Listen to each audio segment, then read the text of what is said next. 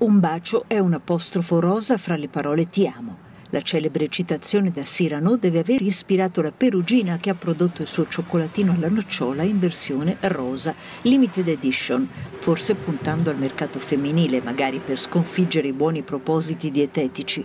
Non è colpa di un colorante però, ma merito delle fave di cacao ruby dalla delicata tinta e a quanto pare dal gusto fruttato, risultato di uno speciale processo produttivo. Piacerà al mercato?